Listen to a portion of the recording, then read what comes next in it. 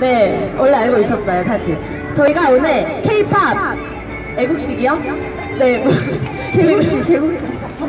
저희가 원래 오늘 여기가 행사 장소가 아니었는데 이제 그 원래 1차 행사 장소에 문제가 생겨가지고 이쪽으로 이제 급하게 옮기느라고 네, 저희는 네, K-팝 개국식 이곳에서 급하게 장소 변경해서 하게 되었는데 그래서 여러분들 더 많이 만날 수 있는 것 같아요. 저희 MC 먼저 인사드리겠습니다. 안녕하세요. 저는 아 머리카락 여성 댄스 팀 비글여친에서 해피바이러스를 맡고 있는 아라아라예요. 반갑습니다. 박수.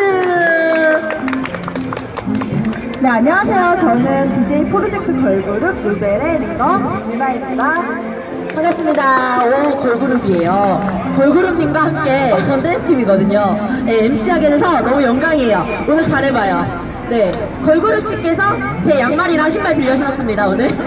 네, 네, 자, 그러면, 네, 네, 오늘 너무 갑자기 힐 신었다고 깜짝 놀래가지고 제 신발 빌려줬어요. 네, 그럼 오늘 사이좋게 재밌게 한번 공연 진행해보겠습니다. 네, 그러면 오늘 저희가 MC 먼저 무대 먼저 보여드리면서 후끈 달아오르게 만들어 볼까요, 한번? 아 좋아요 달려볼까요? 네, 한번 달려볼까요? 여러분, 박수 크게 쳐주시고요. 날씨 좋잖아요. 무료 공연이잖아요. 그죠? 네, 박수 쳐주시면서 많이 함께 즐겨주시는 무대 됐으면 좋겠습니다. MC 공연 먼저 할게요. 네, 저 알아 먼저 네, 진행하겠습니다.